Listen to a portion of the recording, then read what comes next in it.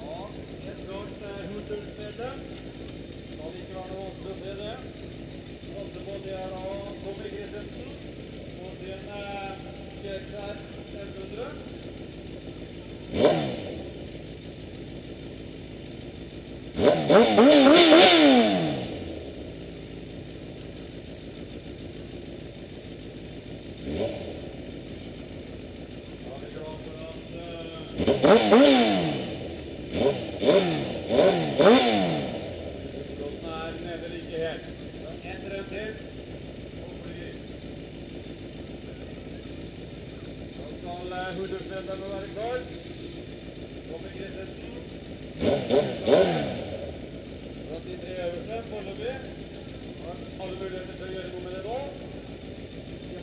grønt flagg helt til utdaginga. Som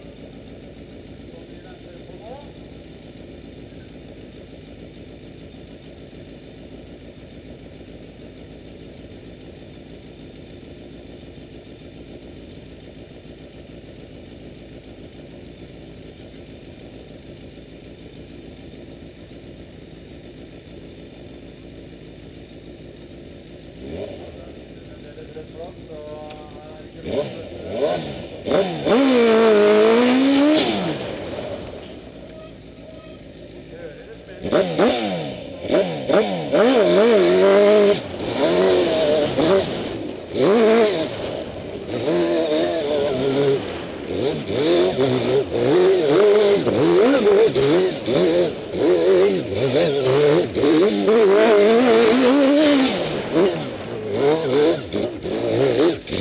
Går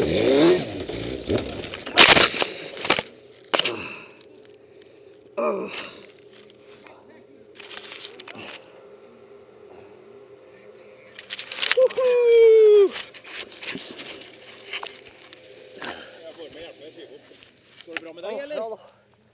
Åh. Så jeg bare adrenalinet som